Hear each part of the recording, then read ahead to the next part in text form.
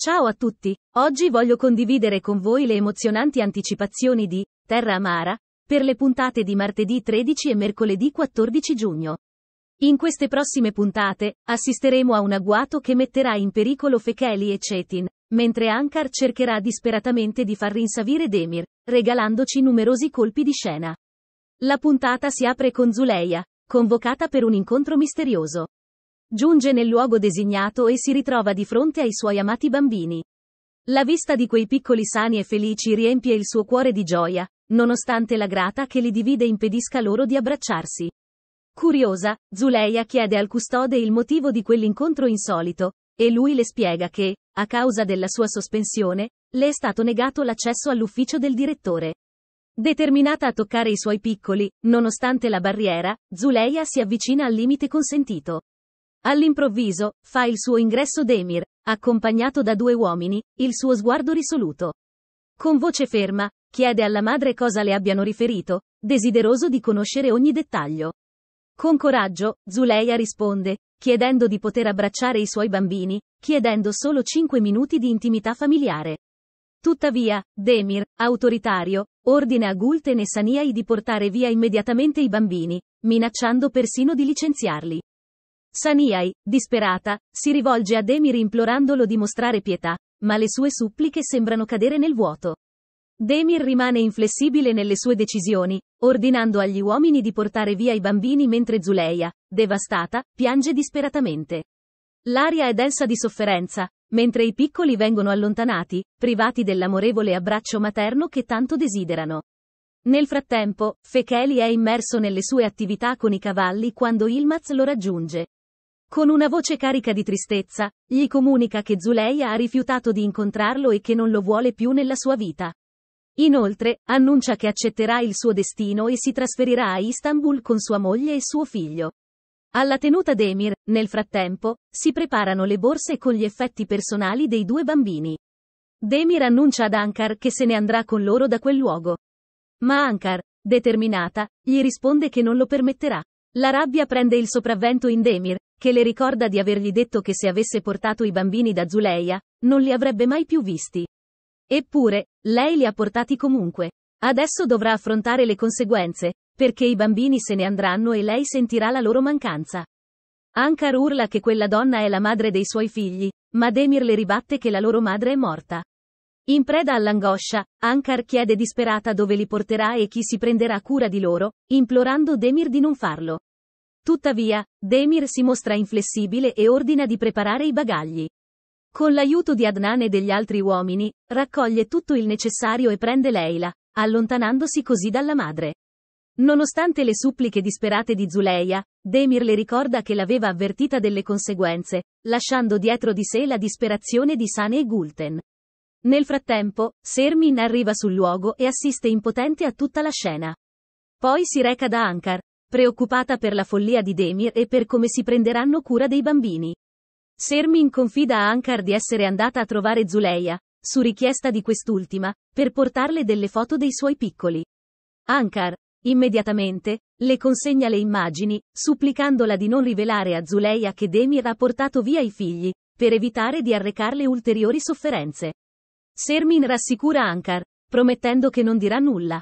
Senza indugio, Sermin si dirige verso Zuleia per consegnarle le tanto attese foto, portando un raggio di speranza in mezzo a tutto quel dolore.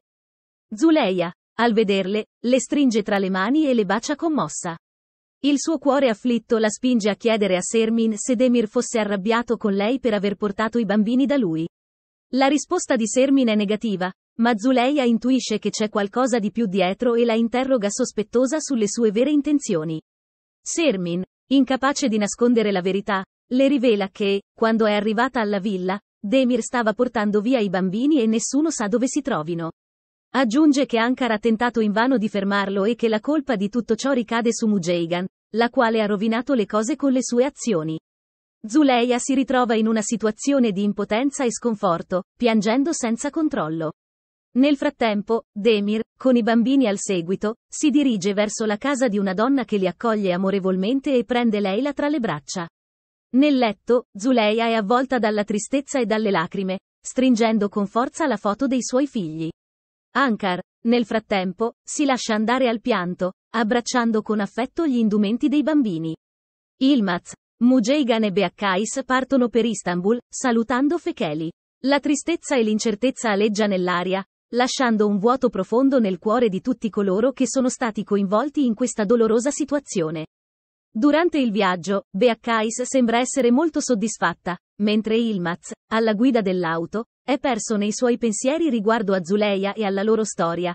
La scena si sposta quindi verso un momento successivo, in cui Zuleia viene trasportata in ospedale a causa di un malore.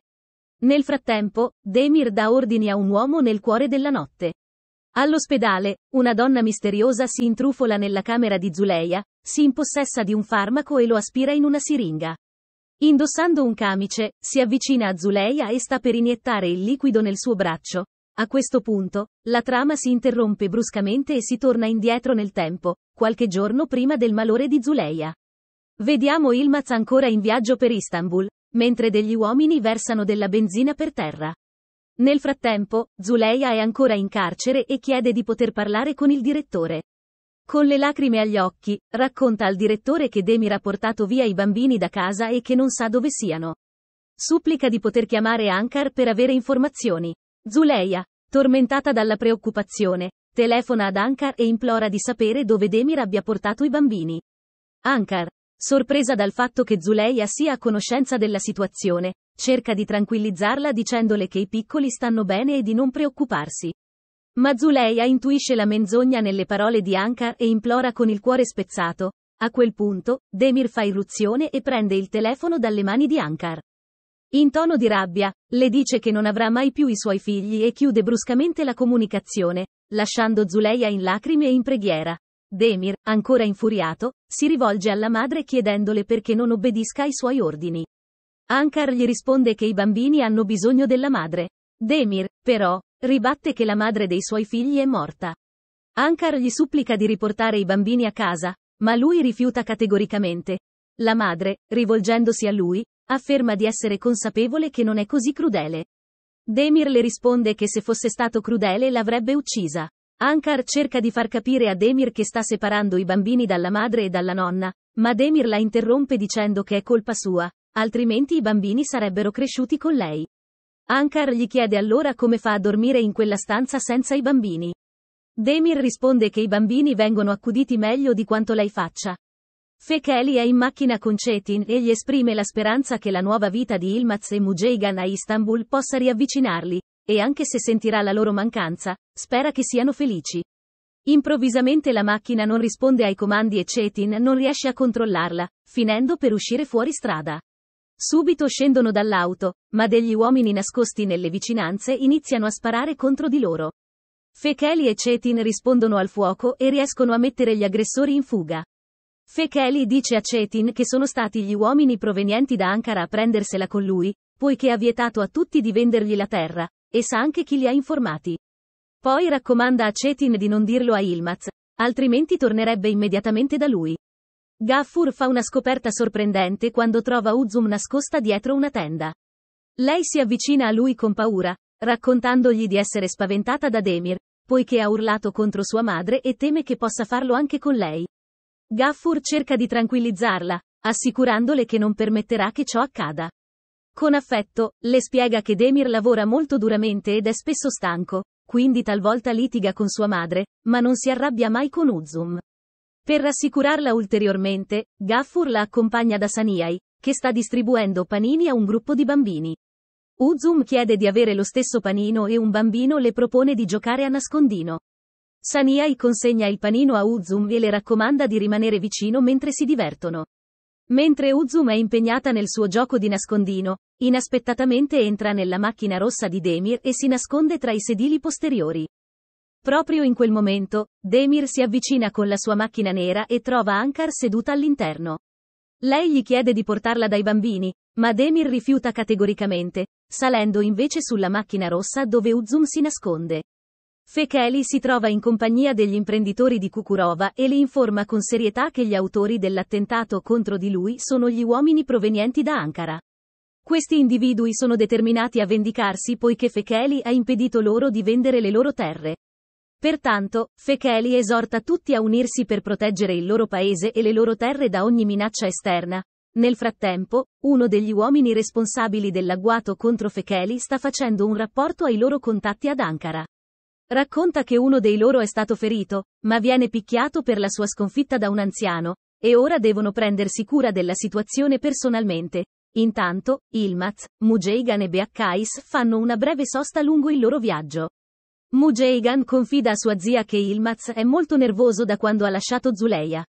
Beakkais cerca di tranquillizzarla, assicurandole che una volta arrivati nella loro nuova casa a Istanbul, le cose andranno per il meglio. Le spiega che Zuleia è in prigione, mentre loro sono insieme a Ilmaz per costruirsi una nuova vita. Successivamente, Beakkais esprime la sua gioia nel lasciare Kukurova, mentre Mujeigan confida che è proprio in quel luogo che si è innamorata di Ilmaz. Nel frattempo, Cetin è preoccupato per gli eventi accaduti e riesce a raggiungere Ilmaz per riferirgli tutto. Demir, all'oscuro della presenza di Uzum, si ferma davanti a una casa e la bambina lo vede entrare e prendere in braccio Adnan. Sentendo che suo padre è in pericolo, Ilmaz decide che devono tornare a Kukurova.